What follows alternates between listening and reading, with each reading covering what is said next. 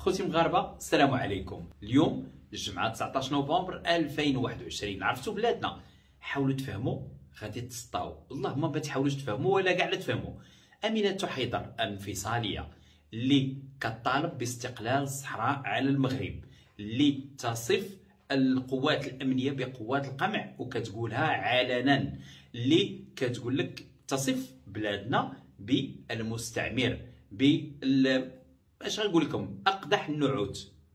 والسيدة عايشة معنا. كاين اللي غادي يقول لك هذه الديمقراطية. يا ريت هذه الديمقراطية وقيله ديال النرويج. السيدة كطالب من قاع دارنا بالانفصال كتنسق مع الجزائر كتنسق مع البوليزاريو كتوصل بالفلوس ما خلات ما دايرة. ولا شي واحد يقدر يشيلها غير بأصابع الاتهام.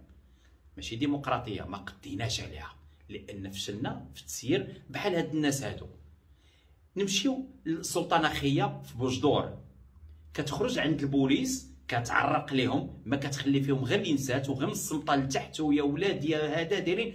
حنايا نديرو غير واحد في المية لشي بوليسي بحال هكاك ولو هذه مقلة الأدب ولا مقلة الترابي ولا اللي بغينا يصيفطوك ب 10 سنين الحبس وحدين خرجوا غير احتجوا على اللقاح لقاو راسهم أمام وكيل الملك وكيل الملك صيفطهم. واش حنا سواسية أمام القانون. هذاك واحد السيد كان في أمريكا اللي عنده واحد الإعاقة خاصة في رجله. هذا السيد كان كيف كيدير فيديوهات كيعرق لجلاله الملك. ما كيخلي فيه لينسا سبان وشي حوايج خايبين ما خلى ما دار. حتى واحد النهار كنتلقاه هنايا في أكادير معايا خدام معزز مكرم وعطاوه تهلاو فيه مزيان. وما كاينش اللي يقدر يقيس فيه ولا شي واحد يدوي معاه ولا شي واحد وكيتسارى هنايا. هاد السيد اللي كان كيقول النهار ندخل المغرب أول حاجة ندير هي نمشي الملك ندفل عليه. لقيته هنا معزز مكرم وهذا ولا هو سيدنا. حنا اللي كان آه كان ناضلو من أجل الوحدة الترابية ولا حنا اللي وطنيين وحنا كيف كلشي المغاربة كيجيو هادو كيوليو أسيادنا. نعطيكم آخر حاجة اللي واعرة اللي هذه علاش درت هذا الفيديو؟ علي سالم تامك هذا تا هو انفصالي هذا من ال calibre ديال أمينة حيدر تا هو عنده واحد الجمعية حقوقيه سميتها كوديزا. وهاد كوديزا تا هي كدوي على الصحراء الغربية. تا هما كيمشيو للجزائر كيمشيو لتيندوف كيرجعوا تنسيقات متواصلة. ويصفون المغرب بالمحتل يصفون القوات الأمنية بالقمعية. ما خلوا ما وصفونا عرفتوا هاد السيد؟ هاد السيد والبارح شداتو أزمة صحية في قلميم ومشى كيتعالج في المستشفى العسكري عافاكم معزز مكرم. وهاد السيد والأدوية وراه باقي ناعس. اللي حد الساعة راه هو في المستشفى العسكري ديال قلميم. كيرتاح مع راساتهم بعد ما نجحت ليه العملية والعسكر ديالنا هما اللي كيتهلاو فيه باش صحيحته تولي بخير وعلى خير. الله يعطيه الصحة ويطول ليه العمر. عرفتوا شحال من الناس من الشعب في قلميم كتموت تما. شحال الناس مقهوره ما قدرش تدخل داك المستشفى العسكري.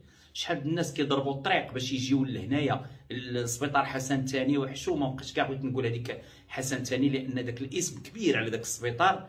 المهم شحال الناس اللي هما وطنيين ناس اللي كيبغيو بلادهم وكيموتوا على بلادهم. شحال ديال الناس اللي ضحاو من أجل هذا البلاد ومن أجل هذا الوطن مكرفسين ما قدروش يعالجوهم في المستشفى العسكري.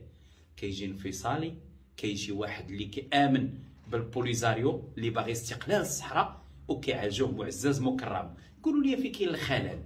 واش هذا ضعف من الدولة واش كاين شي خلل؟ هذا مريض بعدا اولا نشدو نصيفطو للجزائر اخويا تعالج عندهم. يلا هذه هذه هذه غير حاجة من سير لتيندوف راه عندهم سبيطار ويعالجوك كي أنت بغيتي استقلال وأنت ما عرفت شنو سير أخويا؟ نزاخدوك الطياره نديو كاع في طيارة spéciale. وسير عندهم أخويا يعالجوك. علاش كتعالج في سبيطار عسكري؟ علاش ما خلاوش مستشفى مدني بحالو بحال المغاربة كاملين؟ حنا عارفين بأن ال civil لما كيمشي يتعالج في المستشفى العسكري إلا راه واحد الامتياز كبير وامتياز دايرينو لواحد السيد اللي كيطالب باستقلال الصحراء. عيقتو شي شوية.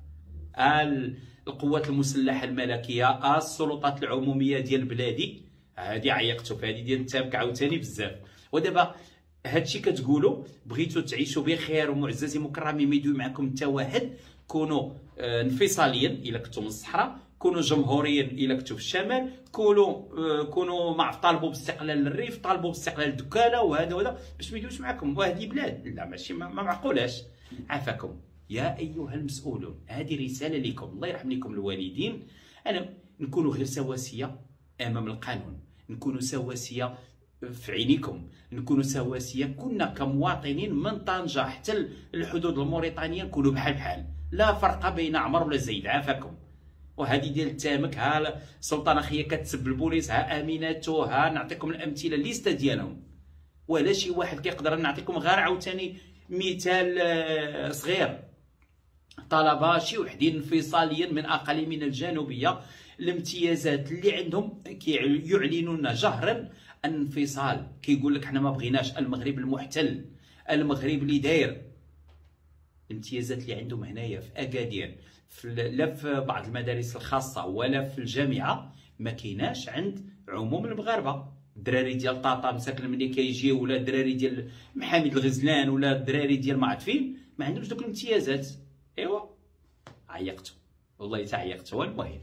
الله يدير لي فيها الخير غير واحد الحاجة ما تحاولوش تفهموا راه إلا بغيتو تفهموا غادي تسطاو في هاد البلاد هادي.